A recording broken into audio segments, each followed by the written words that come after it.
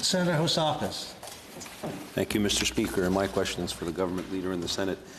Uh, Senator Harder, over the past couple of weeks, I have been asking about whether Prime Minister Trudeau had confirmed a meeting with his Chinese counterpart at the upcoming G20 to discuss the illegal detention of two Canadian citizens in China. I've received only non-answers from you, including yesterday.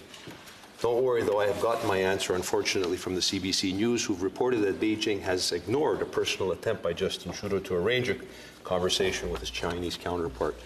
It is clear, Senator Harder, that China isn't taking Mr. Trudeau seriously. He can't even secure a phone call, let alone a meeting, uh, with the president of China. So isn't it time that your government takes serious measures to stand up to China to protect these Canadians and their interests and their human rights, uh, like committing, for example, to ban certain Chinese imports to Canada? And when is this government going to show Huawei the door to show the Chinese that we're serious about protecting Canadians? Senator Harder. I thank the honourable senator for his question.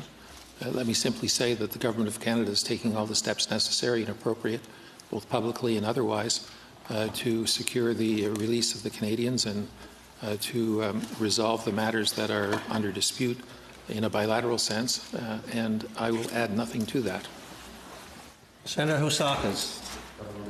Action speaks louder than words, and it's been many months right now that the government has shown complete ineptitude and inaction on this file, and why Canadian lives are at stake.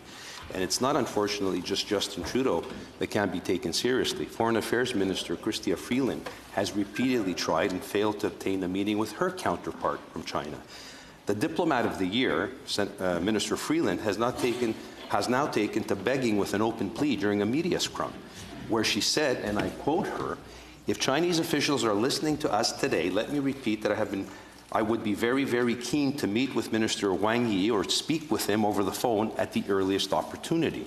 Senator Harder, I think you will agree, as a former deputy minister under five prime ministers and 12 different ministers, including at foreign affairs, as an ex experienced diplomat as well, you would think that it is this, is this normal behavior for a minister of foreign affairs to resort to a press conference in order to catch the attention of our Chinese administration?